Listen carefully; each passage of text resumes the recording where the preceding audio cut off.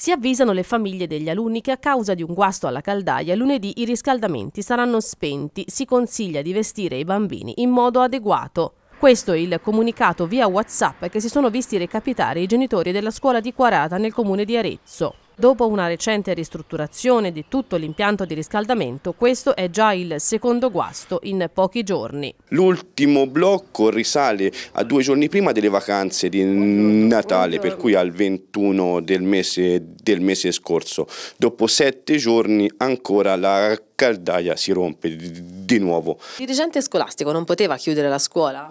Eh, anche quello è un altro punto strano perché ti mandano un messaggio in cui dicono che i bambini devono essere vestiti in modo adeguato, un messaggio quindi niente di così scritto, niente di così ufficiale e, e va a, a, finire che eh, nessuno si assume la responsabilità di, di certi di certe cose, finirà che lunedì ci saranno talmente tanti pochi bimbi che la scuola ufficialmente è rimasta aperta, però in, in realtà non, non, potranno fare assolutamente niente. Già nei mesi passati avevamo chiesto che almeno il lunedì mattina ci fossero delle temperature adeguate a scuola, che così non, non avviene mai. E ripeto, sono lavori nuovi, sono stati spesi soldi pubblici che almeno siano stati spesi bene.